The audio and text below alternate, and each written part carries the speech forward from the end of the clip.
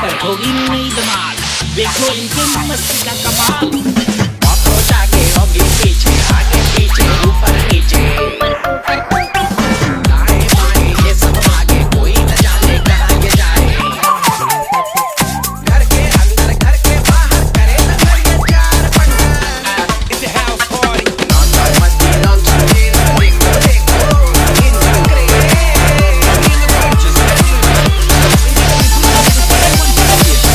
Park.